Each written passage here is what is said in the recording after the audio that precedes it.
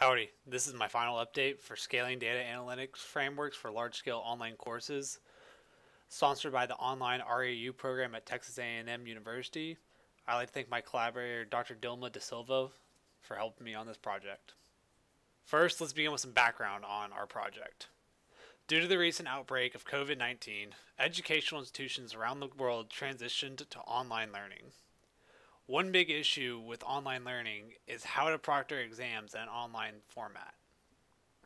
Many institutions utilize services like ProctorU, which allow for students to schedule their exams with a proctor online, and others utilize services like Zoom, which allow the professors to proctor entire classes at the same time. Both of these solutions work in their own respect, but the ProctorU route costs a significant amount of money for the university or the student, while the Zoom route places a large burden on the professor having to monitor 100 or more students in a Zoom call. What we've been working on this summer is a framework that utilizes machine learning to identify possible acts of academic misconduct during proctored assignments. Our framework utilizes distributed computing to process video streams in real time for this process, although videos don't necessarily have to be a live feed for it to work. It can work with pre-recorded videos too.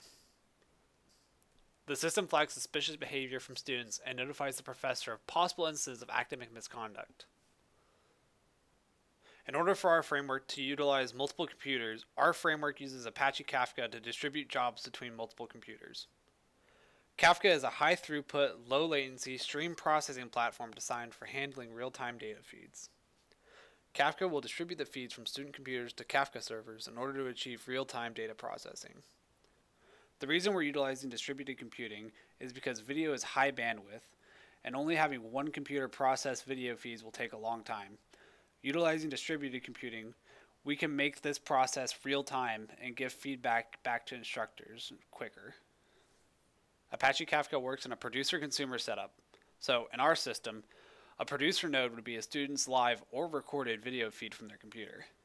A consumer node would be a dedicated set of hardware for decoding the video stream and running our facial tracking software on it.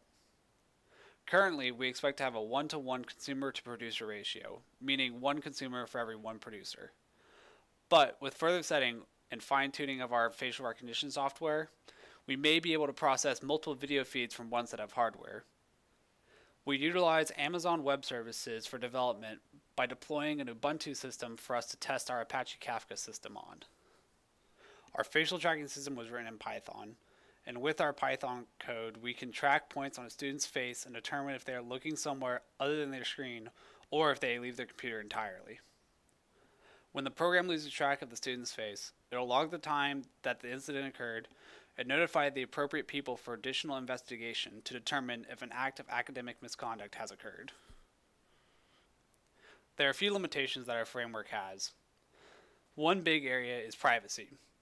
With having access to videos of students taking exams, privacy is a very large concern for us. What we have planned is for instructors and approved personnel to be the only people that have access to stored videos. To help with privacy, stored video will be purged from the sister after a set number of days unless the instructor needs it for additional investigation.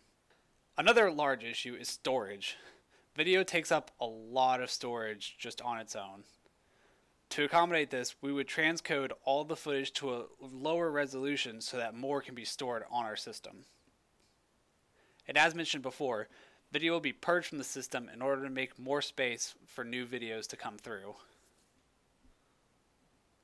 With future implementation of this framework, we're hoping to implement it with video conferencing applications like Zoom to have it built in and made very easy for instructors. We're also hoping to improve our facial tracking system to be more accurate and not post as many false positives. Another area we would research is how to turn on machines on demand when needed to make the framework more efficient.